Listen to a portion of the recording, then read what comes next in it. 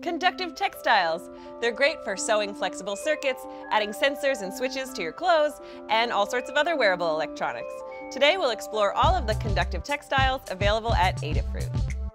Let's start with conductive thread. All three of these flavors are made from stainless steel, which won't oxidize over time like silver will. Our thin two-ply conductive thread can go in the bobbin side of a sewing machine, with plain thread up top. Our 3-ply conductive thread is great for hand sewing.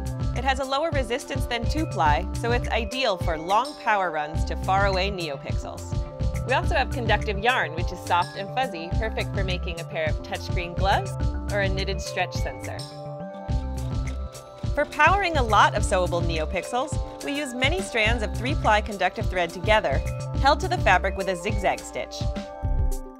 You can use conductive thread to make a zipper switch to activate your TV-B-Gone jacket. You can tape a piece of conductive thread to either side of a piece of Velostat for a durable and inexpensive pressure sensor, like in these Firewalker sneakers. It comes in our beginner LED sewing kit, which is a great way to start exploring with this fun material. For even more power delivery, take a look at our stainless steel conductive ribbon in both narrow and wide. Onto the fabric. We have three flavors of conductive fabric, all of which are silver or silver plated and may oxidize over time. Still, your project should be fine for a year or two. This woven conductive fabric is shiny and stiff. We use it with iron-on interfacing to make the buttons for this plush NES controller. Conductive fabric is great for capacitive touch sensing. These two types are knit, which means they're stretchy and soft.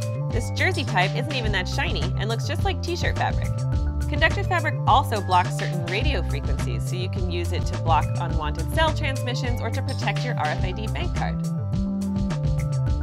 This is stainless steel fiber. You can use it in your felting projects to make buttons and pressure sensors. And this is conductive hook and loop.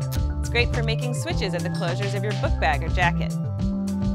We're always testing new materials to bring you the best conductive textiles available.